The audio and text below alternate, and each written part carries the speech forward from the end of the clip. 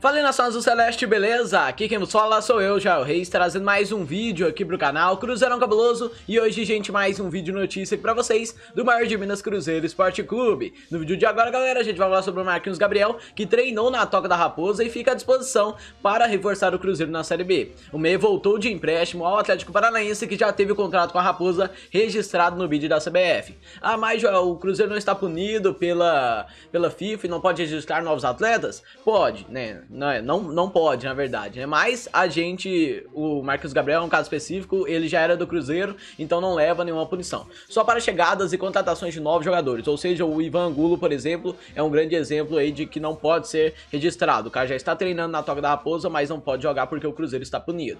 Também vamos falar, galera, sobre o Curitiba, que decidiu demitir o atacante Sassá, que pertence ao Cruzeiro. O Clube Celeste ainda não se pronunciou sobre o caso, né, mas não quer ficar com, com o time, com o jogador, né. O Cruzeiro já disse, ó, não quero, mano. Se você for demitir, que se dane, eu não tô nem aí. Ele vai ser teu contrato rescindido aqui também. Antes da gente continuar aqui no vídeo, eu quero pedir pra você que é novo aqui no canal e ainda não é inscrito, pra descer um pouco a tela, se inscrever, ativar o sininho, compartilhar o vídeo com seus amigos, deixar seu like e deixar sua opinião nos comentários se você gostou da volta do Marquinhos Gabriel e se você gostaria de ver o Sassá de volta no Cruzeiro, né? Eu já descartaria totalmente o Sassá, igual eu disse no vídeo de ontem, né? O Marquinhos Gabriel pra mim é um caso totalmente específico e diferente do Sassá, até porque o Marquinhos Gabriel pediu a rescisão do Atlético Paranaense e ele era o camisa 10 do Atlético, né? Ele veio para o Cruzeiro aí, né? E ele tem muito a agregar. Agora o Sassá, galera, o Sassá ele foi demitido do, do Coritiba, né? Todo clube que o Sassá passa ele causa problema. E eu acho que não é o, o, tipo de coisa que o Cruzeiro precisa no momento. A gente precisa montar uma equipe forte, uma equipe, um grupo mais unido, né? Sem esse negócio aí de farra, de festa, de... Ah, não, não, não dá, né? O Cruzeiro precisa de um time cabeça, beleza? Então agora, galera, bora pro vídeo de hoje. Vamos começar falando do Marquinhos Gabriel, né? Porque o técnico Ney Franco ganhou um reforço no treinamento desta segunda-feira, na Toca da Raposa. O meia Marquinhos Gabriel, como já era previsto pelo clube, né, fez o primeiro trabalho com o elenco e fica à disposição do Cruzeiro para a partida, né, e o restante da Série B do Campeonato Brasileiro. O Marquinhos Gabriel estava emprestado ao Atlético Paranaense desde o início deste ano, mas solicitou a rescisão de contrato na última semana. Ele aceitou reduzir o salário para ficar no Cruzeiro. Teve o vínculo com a, com a Raposa reativada, né, no boletim informativo diário da CBF e já tem condições de jogo. E pelo fato de já estar treinando normalmente com o elenco atleticano, ele não deve demorar a ser relacionado. O próximo compromisso do Cruzeiro será no sábado, às 9h30 da noite, contra o CSA em Alagoas pela décima rodada da Série B. E quem ainda não deve ficar disponível, galera, para a partida é o Henrique, que sofreu uma lesão na panturrilha, né, e foi desfalque contra o Vitória. O volante fez um tratamento nesta segunda-feira e não trabalhou em campo com os companheiros. Mas o mesmo aconteceu com o Raul Cáceres, né, galera? O lateral que teve confirmado uma lesão no joelho direito e o Daniel Guedes e o Rafael Luiz são as opções para o setor para iniciar o jogo no Nordeste, né? E eu acho que o Rafael Luiz vai ganhar essa posição porque ele fez uma ótima partida contra o Vitória. E com o triunfo sobre o Vitória, galera, a estreia do Ney Franco, o Cruzeiro chegou a 8 pontos na Série B e deixou a zona de rebaixamento, local onde está justamente o CSA, né, lanterna da competição, com 4 pontos. CSA que hoje a gente até fez um vídeo falando sobre a última partida deles, que eles perderam para o Oeste, né, que era o atual lanterna e agora passou o bastão o CSA, né que tem duas partidas a menos que o Cruzeiro e todas as outras equipes praticamente, beleza, galera? Então não, não vamos esquecer isso aí, que o CSA tem dois jogos a menos. Um ele já vai matar agora na quarta, né, que vai ser depois de amanhã, contra o Cuiabá, e aí eles vão pro jogo contra o Cruzeiro com uma partida a menos, né? Então assim, o Cruzeiro tem que vencer essa partida, é extremamente importante, eu acho que a gente consegue sim sair com um bom resultado lá, né, dessa partida lá em Maceió. Eu acho que o Cruzeiro tem o melhor elenco, tem a camisa pesada e tá num momento bem melhor do que o CSA, né? Ah, mas a gente tá mal, a gente tá mal também, né, igual a gente falou aí que o Cruzeiro gosta de ressuscitar defuntos, mas é, é um momento assim que eu acho, ah, a gente tá ruim, né? Tava seis jogos sem vencer e vencemos agora. Claro, né? Mas é, o CSL tá muito pior, né? Tá lá na zona de baixamento, não começou com menos seis pontos, né? Então, tipo, eles estão muito piores do que a gente.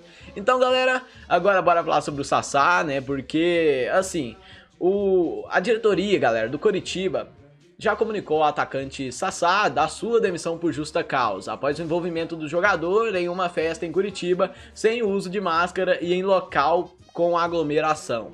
O presidente do Coxa, Samir Namur, disse que o jurídico do clube cuidará das questões burocráticas envolvendo a saída do atleta que pertence ao Cruzeiro. Abre aspas, bora pra fala do do presidente do Coxa. É possível sim uma demissão por justa causa e foi o que aconteceu. Já comunicamos o atleta hoje com todo o amparo jurídico por conta da aglomeração e da pandemia, disse o Samir Namur em entrevista ao blog da repórter, da repórter Nadia Mawad, da TV Globo. E o Super Esportes, galera, procurou o Cruzeiro, mas o clube ainda não se pronunciou sobre o assunto. E com a demissão do Curitiba, o atleta deve ter o futuro definido pela cúpula do Cruzeiro e nesses próximos dias. E o Sassá, galera, participou de uma festa no último sábado após a derrota do Coxa para o Atlético Paranaense por 1 a 0 pela décima rodada do Campeonato Brasileiro, né? O cara perdeu um clássico importantíssimo, né? E a galera ainda tava na pilha, perdemos o clássico, o cara tá indo pra festa, então isso aí vai dar ruim, hein? E a gente já tinha dito ontem também, né? E ele está emprestado pelo Cruzeiro ao Curitiba em janeiro deste ano foi quando ele foi para lá, né? E assim, galera, o atacante de 26 anos assinou um vínculo de um ano com o Clube Alviverde. Em 18 jogos na temporada foram 4 gols marcados. E a campanha do Curitiba no Brasileirão não é boa. Com 6 derrotas, 2 empates e 2 vitórias, o time do Paraná ocupa a 19 posição com 8 pontos. Na próxima rodada recebe o Vasco, que figura na primeira parte da tabela. E o jogo é às 8 horas da noite, no domingo, no dia 20 é, no Couto Pereira, viu? E o Brasil, galera, tem 131.663 mortes em decorrência do novo coronavírus. E ao todo são 4.330.455 casos da doença, né? E o cara tá vindo fazendo festa, né? Por isso que eu falo que não adianta muito esse negócio, né? Igual aqui no Brasil, eles, eles veem muito, né, velho? É, ah, mano, você não pode, aglomeração não pode, né? Mas o cara faz festa e não acontece nada. O cara vai pra festa e a gente em casa, a gente tá suave, né? A gente tá protegido e os caras estão em festa. E lá, lá em Curitiba, né? Lá tá a bandeira, se eu não me engano, média, né? Por exemplo, a bandeira laranja, né? Que é média, né? Ah, não, não pode. Ah, fica de boa, sai quando necessário, beleza? E assim, eu acho que é é uma coisa que eu não tenho muito o que opinar, até porque eu não sou médico, né? Mas é, aqui na minha cidade, por exemplo, a gente já está tendo uma liberdade maior, né? Claro, ah, tem que sair de máscara. Isso aí é uma coisa que você tem que fazer sempre, né? Pra é, sair de máscara, lavar as mãos, né? Isso é uma coisa que você tem que fazer, isso é o mínimo, né? E assim, você vê o cara desrespeitando, né? O cara vai pra festa, os caras vão pra festa enquanto você, ah, vou sair quando é necessário, velho. Eu preciso ir ali no mercado, eu saio, mano. Não, não preciso fazer nada.